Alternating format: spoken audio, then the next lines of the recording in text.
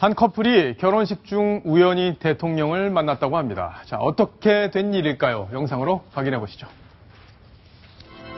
지난 11일 날 한 신부가 결혼식을 했습니다. 미국 캘리포니아 샌디에고에서 결혼식을 한 부부입니다. 저 부부의 사진인데요. 창밖을 내다보고 있는데 와 저 사람 누구더라? 멀리 보니까 누구더라? 텔레비에서 많이 봤는데 오바마 대통령이었던 거죠. 그래서 곧장 시- 그 신부 화장을 받다 말고 바로 골프장으로 뛰어갔다고 합니다.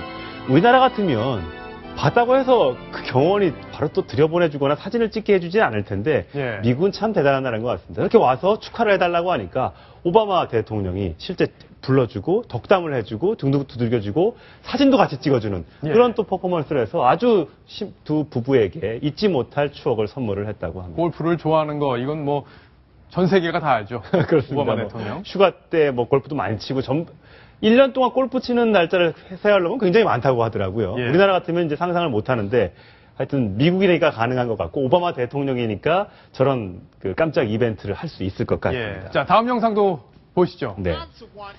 뉴욕에서 열린 세계 만화 축제인데요. 저게 이제 많이 보셨죠?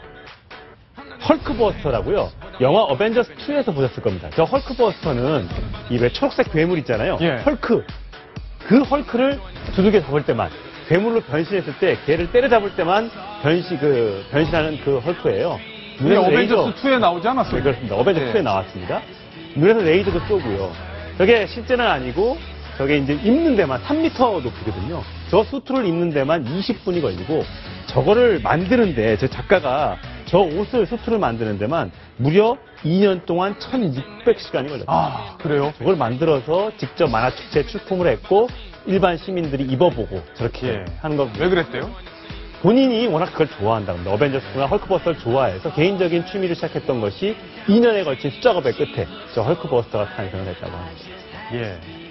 어, 진짜 실제 같아요. 보면 네. 저도 어, 이 아이언맨 시리즈 상당히 좋아하는데 영화에서 본 그 모습 그대로인 것 같아요. 벤틀리나 그 저기 고급 전용기를 빌려주지 말고 저거를 저 어린이날 때좀 빌려주면 많은 아빠들이 한테 좀 입혀주고 예. 사진을 좀 찍어줄 것 같습니다. 좀 하나 만들어 보시죠. 네, 빌려오겠습니다. 예, 알겠습니다.